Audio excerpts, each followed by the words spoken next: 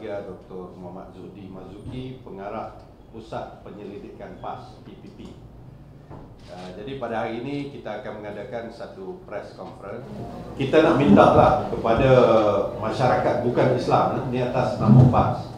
Masyarakat bukan Islam selama ini kita menghormati uh, perkara yang ada kepentingan dengan orang Islam termasuk Akta 355. Jadi orang bukan Islam, rakyat bukan Islam perlu juga faham bahawa di sana ada undang-undang yang berkaitan dengan orang bukan Islam. Saya bagi contoh Act 164 Law Reform Marriage and Divorce Act. Itu satu undang-undang yang ada kaitan dengan orang bukan Islam dari segi uh, marriage, divorce, dari segi custody and all that. So kalau kalau RU 355 ni diganggu, kita memang orang Islam akan tidak setuju dengan law reform yang juga ada kaitan dengan orang bukan orang Islam terutamanya apabila uh, pasangan tu masuk Islam dan sebagainya. Jadi kita minta we must play the fair game lah.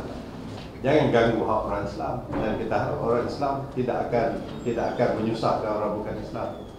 Kalau nak main macam tu kita pun boleh go against this proposed amendment law reform marriage and divorce act.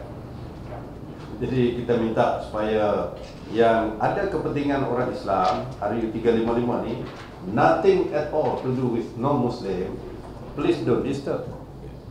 Uh, jadi kita pun akan kompromi dalam isu-isu yang bukan Islam. Okay?